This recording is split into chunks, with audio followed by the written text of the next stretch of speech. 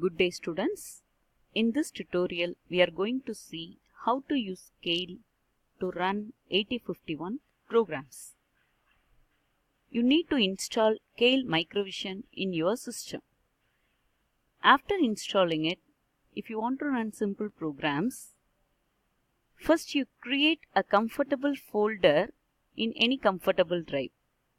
Now I am opening a folder in a desktop to show you a demo.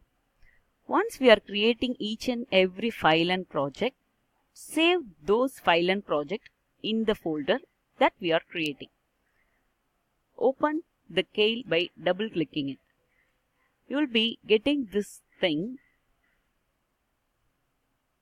So there will be three windows as a default option. One is output window, one is workspace window and one is the program window. So initially you have to start a new project. So new project should be created in the folder that we have already created. So we have created a folder called Keil. Inside the folder you have to create a project. So project extension will be .uv2. So I am saving my project. Once we have saved our project, it will ask for a target device. So here a database is provided which gives the different company's name and for example if I want to work with the chip of Intel company I am selecting a Intel and if I clicking it I'll be getting a huge microcontrollers available with Intel. So I am selecting 8051AH so here the description of that chips that it is a chip with 8-bit microcontroller, 32 input output lines that is 4 ports, 2 timers, 5 interrupts, 4 KB ROM everything will be coming here. I am selecting the particular chip and if it is a huge project you need a startup code. So as we are going to work on a simple program I am giving no. Now our project is created and the project name is be displayed here test and some target is produced here. Now I am going to open a file. So new file is open. Inside this file you have to give your program. So here I am having a simple program program to do x square plus xy where xy are 8 bit data. Here the data x is in memory 4000 and y is in memory 4001. And I want to store the result of x square plus xy in the address 4002 and 4003. So for that the program code will be like this. So initially I am loading the x from 4000 to accumulator and I want that x for also doing xy. So I am storing the data in some other internal memory location and again I am duplicating the data and doing multiplication AB which is meant to do a x square operation and I am storing the result of the multiplication from A and B register to some internal memory address 40 and 50. So lower order byte at 40, higher order answer at 50. And I am incrementing the DPTR to get the Y value and I am getting the Y value at A and I am moving the X value which is available in the 20H to A and I am multiplying both. Now XY solution is available in the as a multiplication answer. So I'm straight away adding that accumulator answer with the already data that is x square solution to obtain the result. You can just go through the entire program to understand the operation of x square plus xy. So before starting the program, it is required to start with the assembler directive org. So I'm going to start with the program with org and going to end the program with end. So this is my program and I probably copying this program and in the Keil I am just giving the program that is typing the program. After typing the program in the Keil, go to file and save the file and give any name. So I am doing some expression. So I am going to give a name exp and the extension should be A51. So extension is very important here. So I am developing 8051 microcontroller. So I am giving a name and I am saving in the same folder. So after saving the program file, I need to add this file to a project. So in the project workspace, click the target. You'll be getting a source group. Right click the source group. You'll be getting so much options. In that options, you click add files to group. So if I click it, it will ask for a file. So types of files, all files means all the files will be displayed in our folder.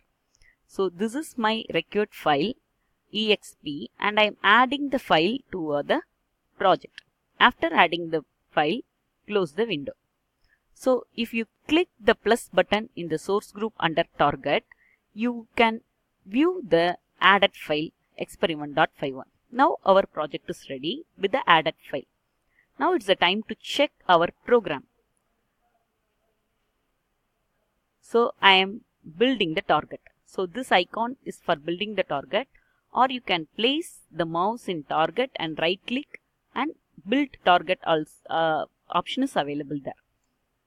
So here after building if you see the output window it will give the assembled thing. So here it is mentioning that there is a error in the line 3 and 10. So I am coming to the line 3 and so what is the error?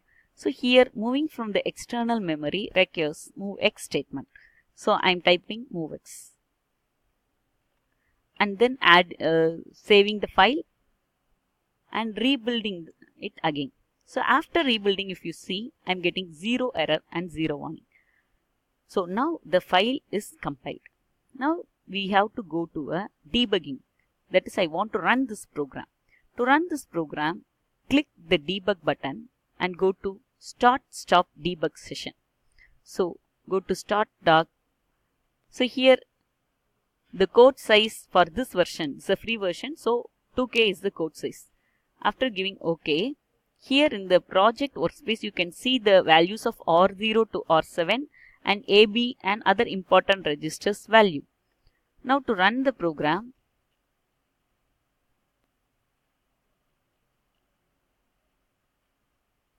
So the program is available.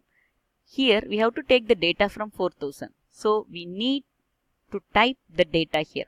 If this memory window is not there, you can go to view and you can select the windows to be displayed here.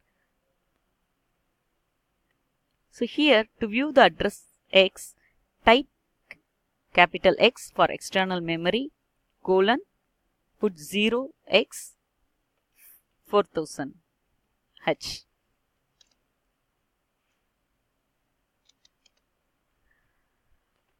So the data already data present in the memory external address are 00. 0. Now we need to modify the value. Now right click each and every memory cell and modify the value. So the first location 5, second location if I give 10 automatically it will be converted to hexa and here the values are saved as 5 and A. Now if you run the program the values from the 4000 that is 5 and 0a will be taken and used by the program. So to run the program, you can run F5 to get a answer directly or if you want to run single line by line, you can press F11.